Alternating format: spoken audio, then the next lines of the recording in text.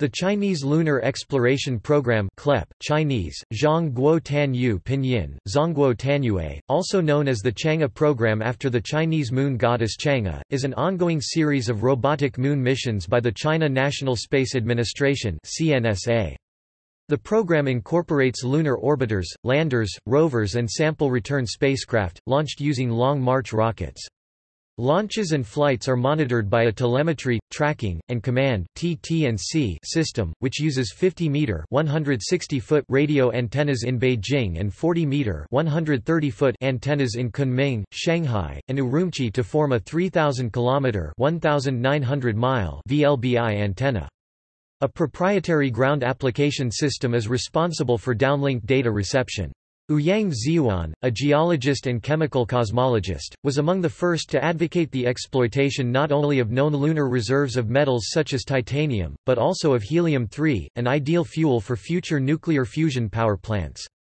He currently serves as the chief scientist of the Chinese Lunar Exploration Program. Another scientist, Sun Jiadong, was assigned as the general designer, while scientist Sun Zezhou was assigned as the deputy general designer. The leading program manager is Luan Enjie. The first spacecraft of the program, the Chang'e 1 lunar orbiter, was launched from Xichang Satellite Launch Center on 24 October 2007, having been delayed from the initial planned date of 17–19 April 2007. A second orbiter, Chang'e 2, was launched on 1 October 2010. Chang'e 3, which includes a lander and rover, was launched on 1 December 2013 and successfully soft-landed on the Moon on 14 December 2013.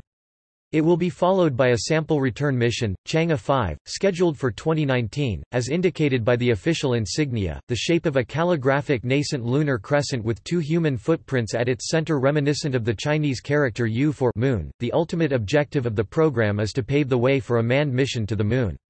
Such a mission may occur in 2025 to 2030. Topic program structure The Chinese Lunar Exploration Program is divided into three main operational phases, with each mission serving as a technology demonstrator in preparation for future missions. Topic phase 1 – Orbital missions The first phase entailed the launch of two lunar orbiters, and is now effectively complete.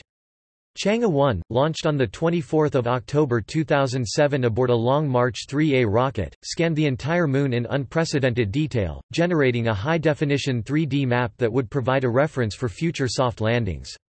The probe also mapped the abundance and distribution of various chemical elements on the lunar surface as part of an evaluation of potentially useful resources.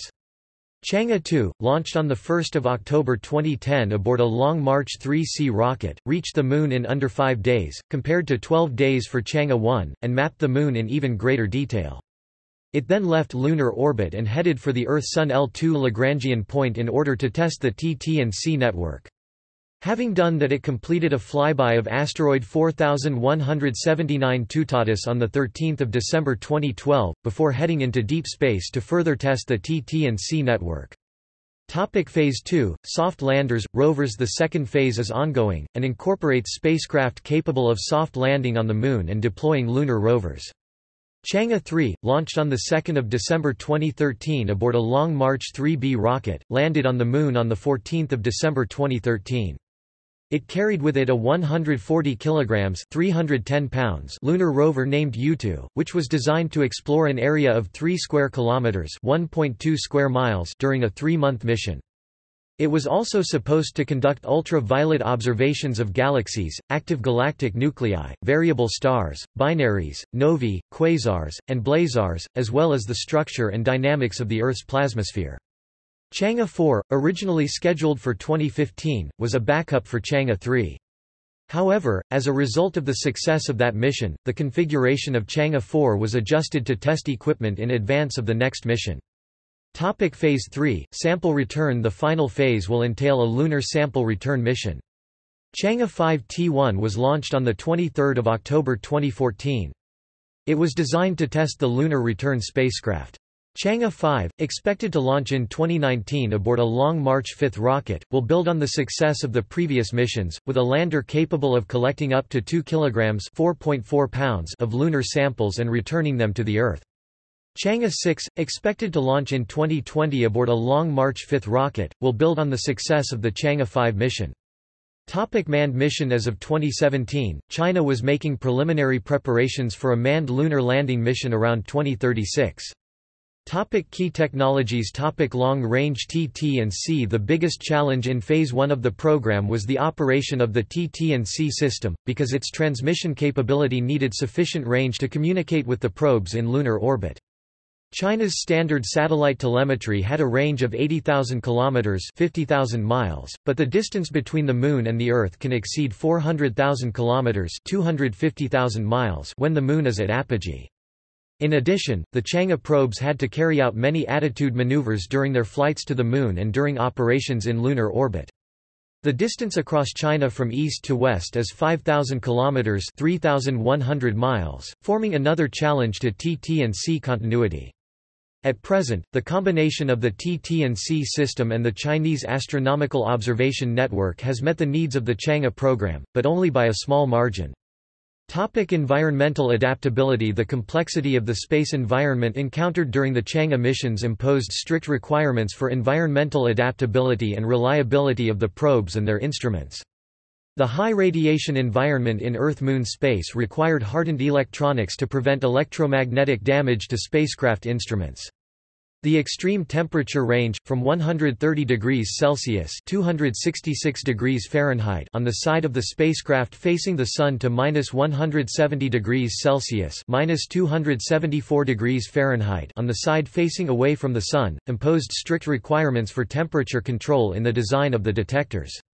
Topic orbit design and flight sequence control Given the conditions of the three-body system of the Earth, Moon and a space probe, the orbit design of lunar orbiters is more complicated than that of Earth-orbiting satellites, which only deal with a two-body system. The Chang'e 1 and Chang'e 2 probes were first sent into highly elliptical Earth orbits. After separating from their launch vehicles, they entered an Earth-Moon transfer orbit through three accelerations in the phase-modulated orbit. These accelerations were conducted 16, 24, and 48 hours into the missions, during which several orbit adjustments and attitude maneuvers were carried out so as to ensure the probe's capture by lunar gravity. After operating in the Earth-Moon orbit for four to five days, each probe entered a lunar acquisition orbit. After entering their target orbits, conducting three braking maneuvers and experiencing three different orbit phases, Chang'e 1 and Chang'e 2 carried out their missions.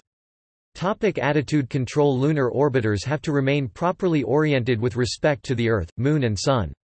All onboard detectors must be kept facing the lunar surface in order to complete their scientific missions. Communication antennas have to face the Earth in order to receive commands and transfer scientific data, and solar panels must be oriented toward the Sun in order to acquire power. During lunar orbit, the Earth, the Moon and the Sun also move, so attitude control is a complex three-vector control process. The Chang'e satellites need to adjust their attitude very carefully to maintain an optimal angle towards all three bodies. Hazard avoidance During the second phase of the program, in which the spacecraft were required to soft land on the lunar surface, it was necessary to devise a system of automatic hazard avoidance in order that the landers would not attempt to touch down on unsuitable terrain. Chang'e 3 utilized a computer vision system in which the data from a down-facing camera, as well as two ranging devices, were processed using specialized software. The software controlled the final stages of descent, adjusting the attitude of the spacecraft and the throttle of its main engine. The spacecraft hovered first at 100 meters (330 feet), then at 30 meters (98 feet) as it searched for a suitable spot to set down. The Yutu rover is also equipped with front-facing stereo cameras and hazard avoidance technology. Potential cooperation with Russia Anatoly Perminov, head of the Russian Federal Space Agency, revealed in September 2006 in RIA Novosti that Russia and China were working on lunar exploration as partners, and that the Russian-Chinese Space Subcommission's priority was to conclude a joint lunar exploration agreement by the end of that year. See also Chinese space program List of current and future lunar missions. List of proposed missions to the Moon. List of missions to the Moon. Robotic exploration of the Moon. Topic. References. Topic. External links. CLEP official website. Encyclopaedia Astronautica The Scientific Objectives of Chinese Lunar Exploration Project by Ouyang Ziyuan Wo guo fa shi shou ke tan yu wei xing zuan ti chong a tan yu zuan